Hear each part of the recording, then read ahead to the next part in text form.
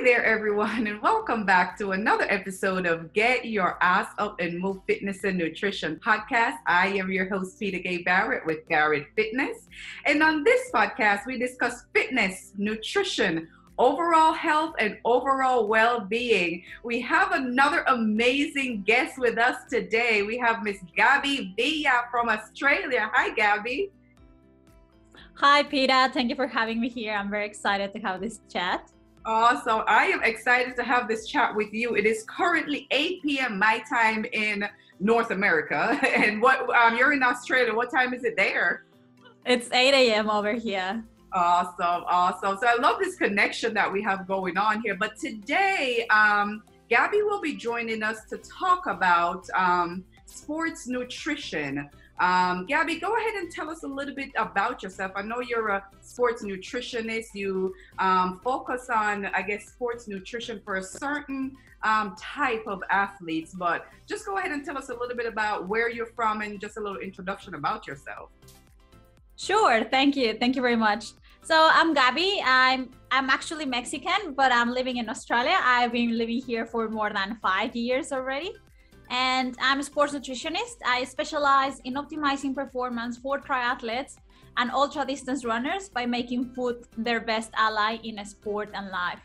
This is something I've been doing for more than nine years. I've been part of the, uh, uh, I guess, involved in the sports nutrition world since like for a like a very young age because I've like I've always been so passionate about the sports. I think being uh, involved in so many sports since I was little is what like essentially was t- taking me towards uh, working on um, in in the sport as well. Like being being involved with athletes was something that I was very um, aware that was something I really wanted to do. Right. And right now, because I think also because I am a triathlete and I'm more involved in the endurance sport, is what took me towards focusing more on endurance nutrition and that's why i mostly work with triathletes and oh. and runners predominantly. So did you say you are a triathlete yourself? Yes i am. Oh my god that is so cool. So i didn't know that when we last spoke. I don't know how i how i missed that one. Good for you girl so let's talk a little bit about that. How did you get into triathlon? Like at what age did you you know start becoming interested in it? Were your parents involved in you know running or you know cycling or anything like that? How did you get involved and at what age?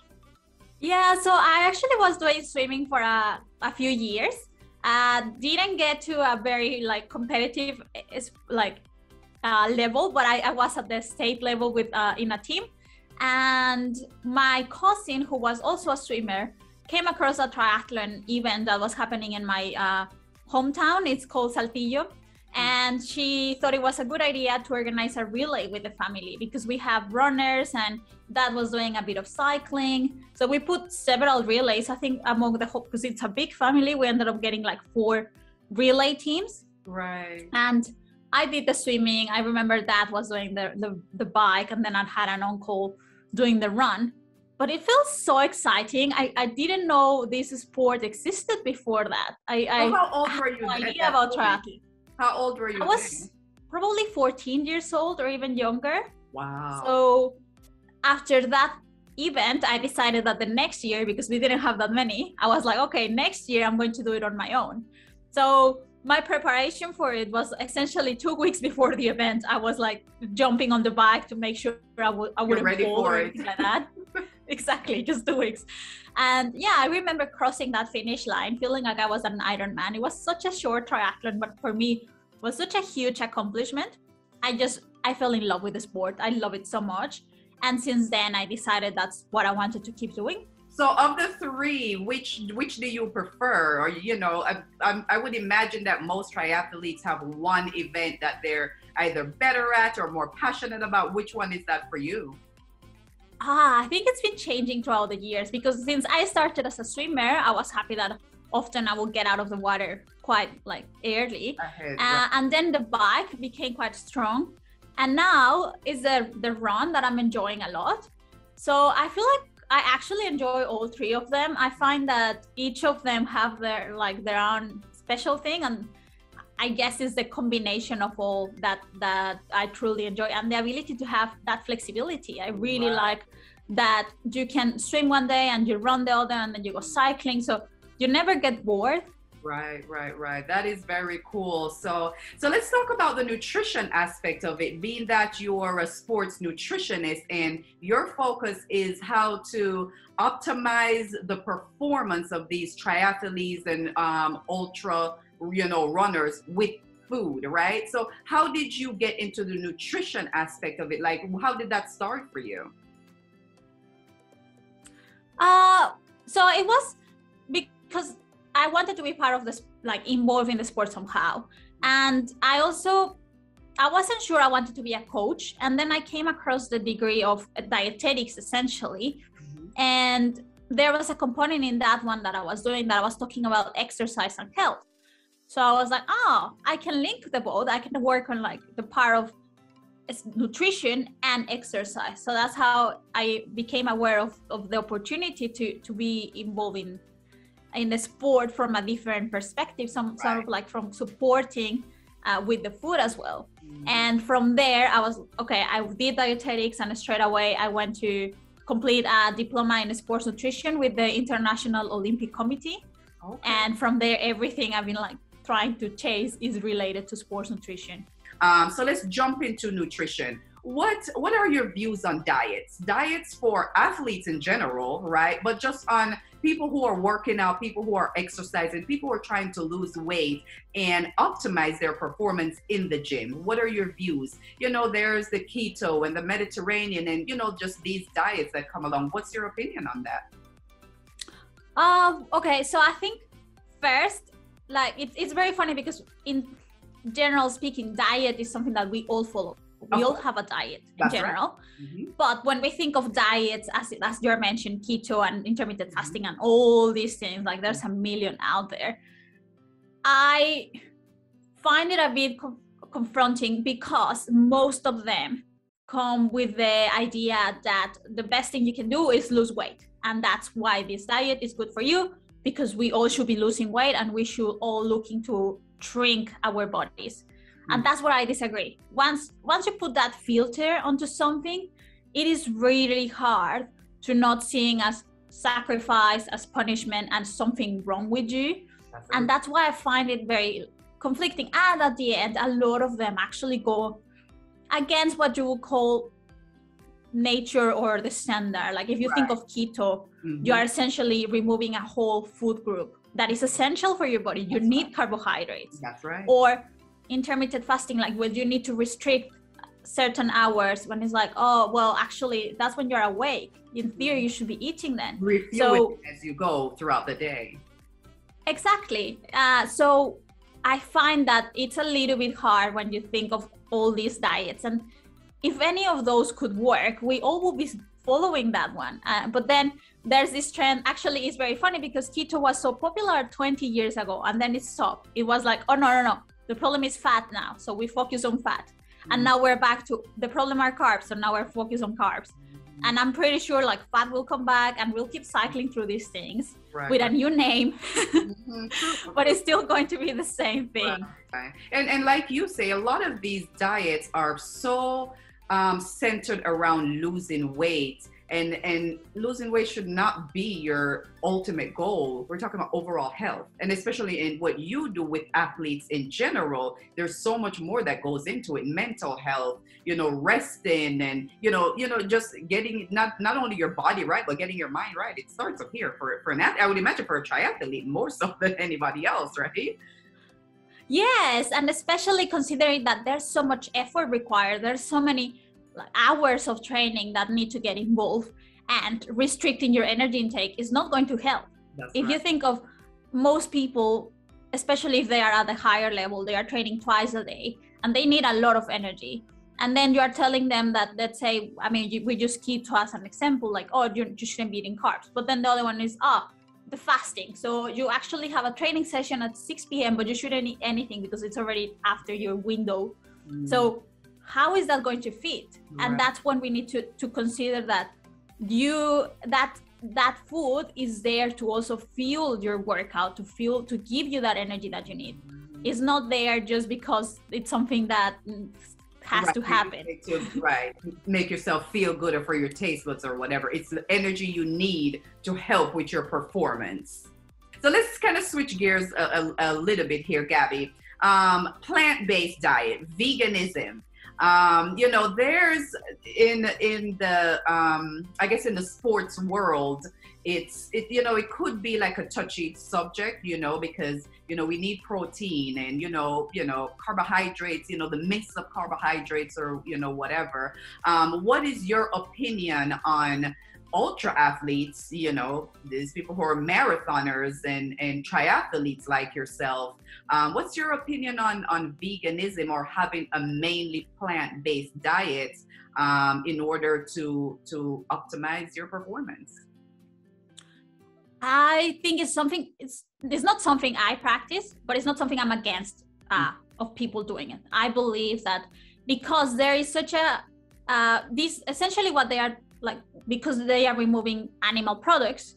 It doesn't mean that they are removing all the essential nutrients that they need. There are certain vitamins that it's impossible to to to get from uh, if, if from food if you are restricting your animal source intake so that's when you are thinking of like all right let's let's consider a supplementation here but most of the other things are able to to achieve so i usually recommend definitely go speak with a specialist because we need to make sure that you are balancing things in the right way. Because it's not as i guess the foundation is all right i'm just going to remove all animal products. Talking about someone who is vegan so 100% removing everything cheese dairy meat right. everything is restricted. Uh, and it's not as simple as like i'm just going to avoid that. It's like yes you need to avoid that but how are you going to balance your meals in a way that you're still getting all the nutrients mm. you need? So when we're thinking yep, with exactly so how are we going to make sure that that protein intake is still there that your vitamins and minerals are still present mm. and if for some reason it is impossible to achieve it through food how are we going to supplement to make sure that you are still having all those things mm. and in the case of an ultra uh, endurance athletes or ultra distance runners as well, as you mentioned, um, it is actually not that hard because since the carbohydrate intake is so high, like the demand is is so high, is from a plant-based diet is not hard to achieve it. Mm-hmm. Uh, it's actually easy because most of the things that come with protein also come with carbohydrates. So that's possible to, to get to a nice balance for, for these athletes as well.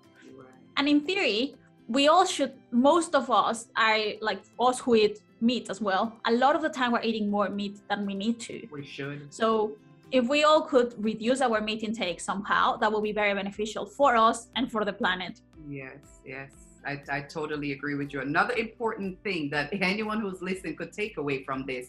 I, I myself, I, I don't practice, I'm a pescatarian. I don't practice veganism. Um, and I'm probably more vegan than most vegans because on most days I am, you know, completely plant based and I throw in, you know, seafood um, here or there. But, you know, the point I'm trying to make, if there's another important thing that for those of you who are listening to this conversation to take away, having a mainly plant based diet is just so good for your overall health. And it's also you know great for your plant uh, uh, for our planet. Um, you know fiber. If there's if there sh- should be a superfood i just think fiber. I know you know i know it's not a nutrient but i just think fiber should be a superfood. There's just so many great health benefits from um, fiber. But let's talk about macronutrients right? And um, your protein, your carbohydrates, um, and your fats. But we're going to focus on carbohydrates a little bit because you mentioned something that I think um, you said the demand for carbs are so high with these ultra runners, ultra marathoners, and it's really it's it should be most the higher percent of our caloric intake as humans in, in general a little bit more than fat and proteins right so what is what do you how do you guide your athletes? And what's your opinion on carbohydrates? Being that carbs get such a bad rep and people don't really educate themselves on carbohydrates you know as much. Yes so i try and make sure that they are having carbs throughout the day which is probably like very i wouldn't say standard but that's the basic is ensuring that uh, their day has the carbohydrates. It doesn't mean because a lot of people think like oh carbs and they are immediately sugar. That that's all that carbs mean but we're talking about pasta, we're talking about rice, we're talking about fruit. All these things are carb, uh, carbohydrates, and they are good for you. So it's making sure that they are there. So, so foods that are like healthy fats. Um, you know, when I think about stuff like that is healthy fats, I think about stuff like nuts and seeds and uh, avocados and stuff like that. I mean, what are some healthy fats that you recommend, you know, for your client? Because another fats get a bad rep too. You know, people, oh, I got to stay away from, you know, meat and this and that, or, you know, whatever. You know, what are some healthy fats that you would recommend being a nutritionist? Yes. So essentially the ones you mentioned, like nuts, they are really good. The seeds, avocado, olive oil, all these things are really good for you as well. And the way I recommend them is having them across the day is also very important. So, for example, often if you're having a snack, let's say it's not because you're going to the gym or anything, just feel hungry, I recommend having a piece of fruit with some nuts. Oh. Why? Because that way it also supports one, your intake, and the other one, that piece of fruit is going to reduce the absorption so you feel satisfied for longer. So I don't know if it has happened to you, but sometimes you have a fruit and like three minutes later you're already I'm hungry. Yeah. But if you have a some notes nuts with it, it's very easy. It's easier for you to feel uh, satisfied because that that fat is also helping with the absorption and it's also adding nutrients that you need. Mm-hmm. Yeah, so I eat my nuts. You know, that would be a snack one day, and then maybe another day I'll eat my apples. But on the days when I have my nuts, I feel more satisfied for longer. And on the days when I have my apples, I'm starving two minutes later. So that's a good point. I'll split it up. yes, yeah, just, just put them together. Because I didn't realize that the the fat helps the carbohydrates, um, you know, to absorb. That is something I did not know. So thank you for that. That I did not know that. Yeah, and I guess yeah. that's why you, we're supposed to have our diet balanced on our plate the fats, the carbohydrates, and the protein because they all work together, correct? Yes, essentially. So, for example, in this case with the app, like the fruit, what we want to do is reduce that absorption. It's not something that is happening so quickly. It's oh. often, for example, with the glycemic index. If you add, if you have something that is sort of high, in in sugar and you add a fat it actually reduces that absorption. So that's why it's like it reduces also the, the index there. Um, but yes essentially just as, as you said they help each other and they help your body as well. Um, each of them have a role to play. And if your body has them all it's easier to become more efficient because all the things that are required because the, the body is very clever. Like if it's lacking a nutrient it's going to put things in there in place so that way to sort of balance for that nutrient not being there. But it comes to a cost. It's, it's costing you things that are not as good somewhere else. So it could be that, for example, if you are not eating carbs, your protein intake is what is putting up with that um, uh, energy. And so that way is converting those things into ketones. That's why it's keto diet because your body is creating those right. sort of addition, like different energy things. Mm-hmm. The thing is that it's costing your body and it's putting your body at a stress. that is not necessary. It is the carbs are right there. You can just eat them, right. and that will help your body, and that will add that balance. Mm-hmm. And just like you said when we first started, it's almost going against science and biology, right? Because your body wants to pull from that carbohydrate. That's how we were made, right? So when you you work out, your body wants to initially pull from that carbohydrate, but it's almost like you're tricking it to say, no, don't pull from that carbohydrate. I know that's what you're supposed to do. Let me create these ketones for you to pull from. So it's almost like you're going against science and biology, making your body do all these extra work when it really doesn't have to be that way. Exactly. Yeah, yeah, yeah, yeah. So post workout. So we talk about pre workout. I'm going out for this long run you know, I wake up in the morning and I haven't had breakfast, so you know, I'm going to have my piece of fruit and I'm going to have a bar and I'm going to be good to go after, you know, my half marathon because that's all I run. I haven't made it to a marathon yet. One day I will. I'm not going to do no triathlon like you, but so we talk about pre. Yeah, that is fantastic. Post workout, right? So everyone is so big on these protein protein you have to have it after you work out they start you know putting all this protein powder and drinking it and all this stuff what is your recommendation for post workout so even like after the gym after our workout or someone like myself i go out for you know six mile run what's your recommendation for post workout my recommendation yes it is protein and carbohydrate. And the thing is that protein doesn't have to come from a powder. That's very important to know. Protein can come for example let's say you go to the gym in the evening. So you have your uh, gym workout and you come home and you have dinner. That is your post workout. You have a, a, high protein intake, you have your carbohydrate there, you have so that is helping with that post workout recovery. My I think the main recommendation is trying to eat as soon as you can after your training session. Mm-hmm. Sometimes the, a meal won't be that immediate. So it will be like, I don't know, you, you go to your run and then you have a nice breakfast. Sometimes it's not going to be the case because it was at a different time. So that's when we are like, all right, let's put a snack or a different meal there that is exclusively a post, like it has a post workout function exclusively.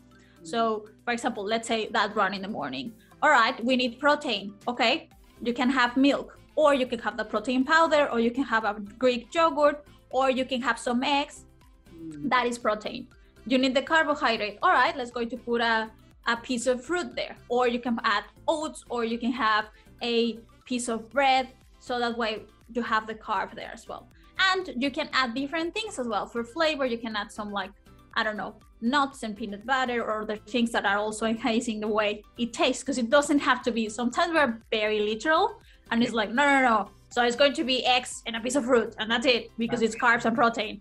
And no, you can make it nice. There's not nothing wrong with it. Right. So, in, as I said, first will be timing, making sure that is it's not something that is like critical that you like step out of the gym and you're already eating, mm. but trying if, you can as much as possible within the first hour after you finish your training session mm. is going to be very beneficial so that's I probably would say that would be the first one. Eat something as soon as in the first hour. the right. second one would be adding the carbohydrate and the protein, like second and third, I guess. Like those things being present are going to be very helpful. Mm, awesome. And the other thing I, I, I forgot to mention is hydration. A lot of the times we forget we also need to be, drink water. That's really important as well. That is true. And then, so what about, you know, electrolytes? You know, we talk about drinking water and we focus on, you know, that's, that's so much. Like, what's the importance of electrolytes? You know, those sodium and magnesium and, and, and potassium, right? You know, most ultra athletes may understand that. You know, regular people who go to the gym and work out every day or go out even just for a run outside don't may not understand what is the importance of electrolytes in the body. Yes, so those electrolytes are essentially the things that are making that uh, that fluid to work. I guess so it's like yes, we need water, but often because the water comes with those electrolytes, and when we sweat, we're losing them. So often that salt when you see on your sweat, sweat is those electrolytes, like getting uh, get, like not being there in your body anymore. Yeah. Yes. So we need to replenish them often it's easy when you do it through food. Like for example we put salt on our food and we have our food has potassium potassium and magnesium. But for someone who is doing a longer uh, training session when they are not actually eating they will be beneficial it will be beneficial to have those electrolytes included as well.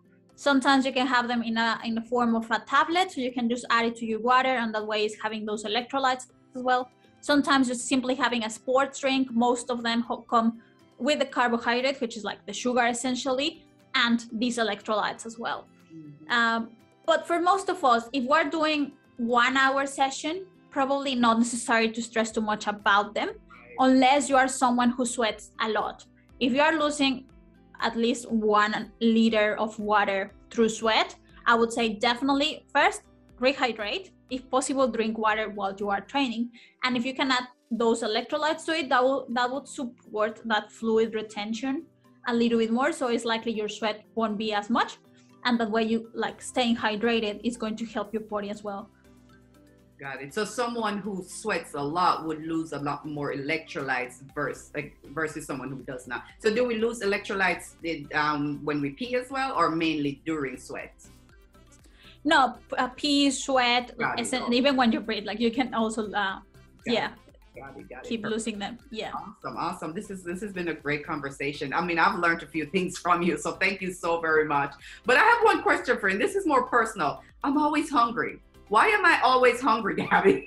I mean, I'm thinking, I don't know if it's because of my diet. and I pride myself in, you know, saying that when I say I do eat and I think I have a pretty balanced diet. And I think I have a high carbohydrate diet, but I eat in a couple hours, I'm hungry. I just stay hungry. You know what I mean? Do you have like some of your athletes who may experience that? Yes, and actually, it's very funny you mentioned that because right here, and I'm going to read it because for people who are listening, but I have this mug, the Never Not Hungry Club. A friend Never gave it to me because hungry sounds, club. sounds like you need one of these, Peta, as well. This looks like we're in the same oh. club. oh my God, girl, I do. Never Not Hungry Club. I don't. When I'm not hungry, I'm thinking well, I'm either hungry or thinking about what I'm going to eat. You know what I mean? Even when I'm full, I'm thinking about what my next meal is going to be. Like I'm always food is always on my mind. I think there are several things involved there. One is probably that you are so aware of nutrition that is part of like, because it happens to me a, a lot as well. Is if I'm going somewhere, I'm already worrying about whether it's going to be a break for snacks or whether what they are going to supply lunch because for me it's something that is so important and I, I need to be on top of that I, I need to be aware of these things to know if I need to bring something with me or if I should eat beforehand. All these things that maybe not a lot of people are considering, I am asking about. So I feel like in your case, it could be the same because you are so aware of your nutrition. That is something that you are already planning. That's one. The other one is also knowing that uh, being hungry is okay as long as it's something that is happening uh, i don't know three hours after your meal if it's happening so close to your previous meal maybe we need to assess whether that meal was enough mm-hmm. so if your meal wasn't not was not big enough and you actually feel like i finished that that i'm supposed to eat because that's what this diet or this right. guideline is telling me that I should be having, but I actually finish and I'm still yeah. hungry. There's no diets there. Just uh, I don't do those. Ah. no, no, no, no. But sometimes like we have we start putting these like unconscious rules. Like we think it's like, oh, this yeah. plate is what I need. True. But true. then you finish the plate, and if if you are still hungry, then it's like you still need more. Mm. That your body is telling you that food is required there. But if it's something that is happening after three hours, I would say like, all right, let's just have a snack or let's just have something else. Mm-hmm. As long as you're not, for example, going to bed and still feeling hungry, mm-hmm. I would say there's nothing wrong there. Uh, as and also listen to your body. If you're hungry, sometimes as well, it's also important to consider because I hate that like, oh, maybe drink water to see because you could be thirsty it's i think it's quite distinct when we are either hungry or thirsty and i know when i'm thirsty exactly. And i feel like if, if you're anything like me everybody knows when you're hungry. Everybody knows when i'm hungry gabby. Yes ma'am. I think we're probably the same but so i think i'm okay then because i drink a lot of water as well. So you know i don't really get that feel of thirst. I drink water and I never really feel thirst, but I and I don't go to bed hungry. So I mean, I think I'm okay. Yeah, I think I'm okay. But you know, uh, because society just puts so much stress on food and not feeling hungry, and I don't go to bed hungry. When I'm hungry, I eat something, and it's usually around three hours or so. And when I eat, I eat till when I'm satisfied. You know, and if I'm hungry after I eat, I may go for you know a little bit more. So um, you know, just just checking. As long as I'm in in you know, uh, we're, we're on the same page, so I think we're good then. no, that is fantastic. But I'm very happy you are asking because a lot of people actually think that being hungry is wrong, and and I love that you appreciate. No, if I'm hungry, I'm going to eat, which is fantastic. That's so important. But it's so interesting how there are like uh, these hunger suppressants. And if you, for example, I've seen people putting it in into uh, in perspective when you say, "All right, uh, I don't want to pee," So I actually feel like I need to pee, but I'm going to hold it because peeing is bad. And it's like, and, and once you think of it, it's so, and I'm going to take these tablets to stop me from peeing. Stop it. it sounds so ridiculous. And we, and if we think of it for being hungry, it sounds normal. It's like, oh no, no, I'm hungry, but I need to do something to resist the hunger without eating. Or I'm going to take a, tab, a pill so I don't don't feel hungry that often. It's like, no, your body is telling you that you need food you need it's energy. something that you need to listen to right yeah and i love to pee because i know it helps my kidney so exactly and i want to see the, the color of it because it's going to tell me if i'm hydrated or not so well, thank yes. you so very much for this conversation, Gabby. I totally, totally appreciate it. You know, hopefully the people who are listening to this can you know, take a thing or two, you know, from this conversation, whether it's someone who's the marathoner, triathlete, you know, ultra runner, you know, you would have learned something. Nutrition, you know, we can use nutrition to optimize our performance, not only in the gym, but in the kitchen and on the plate. They go hand in hand, right, Gabby? Yes, that's right. I always say optimizing performance in a sport and life that's where nutrition can play a crucial role, which is everywhere. Right, that's right. In the sport, sport and, and in life. So tell us, where can we find you? I know the name of your company is intenseatfit.com. That's the name of your website. So tell us where we can find you, you know, on social media and, you know, a little bit about your website and so forth. Sure. So yeah, uh, happy for people to uh, visit my website. There's a, a contact form there you can uh, message me through there. I actually have a scorecard there. It's a 30, 30 question, uh, 30 questions to assess whether you are fueling your days right or not. It gives you a score afterwards. So I like it's for free. Anybody can go and complete it if you if you would like to. Uh, and that's on the website intenseatfit.com. And if you want to have a chat with me or just connect with me, social media usually Instagram is where I'm the most active. So it's at IntenseEatFit on uh, Instagram that you can find me. Otherwise, Facebook, I'm also there. IntenseEatFit by Gabby Villa. Uh, it's how you can find me on Facebook. So, um, so you said on your website you have a thing you can fill out to see if you're fueling your day properly. So, if you're eating yes. enough, is that, um, essentially what that is. Yes, that's right. So it's it's it's a questionnaire, and you it's essentially like a quiz. So you uh-huh. complete the questionnaire, and at the end, it gives you a score on how you are fueling your days. It does have questions targeted at people who are competing as well. So some of the questions are, uh, do you eat during your races or what do you carry with you and things like that. Mm. So, but but still, I would still encourage people to to go and complete it because it, it gives you good feedback as well after you get your score.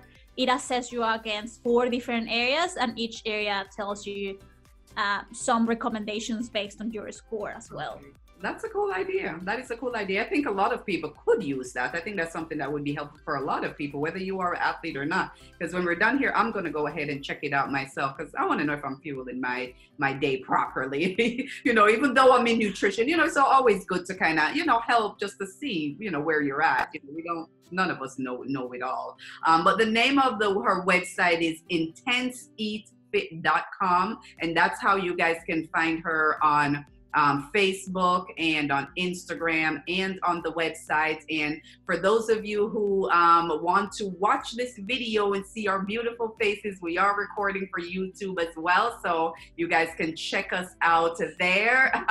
um, but until next time, you guys, thank you, Gabby. Thank you so very much for taking your morning out all the way across the world in Australia um, to have this conversation with us today.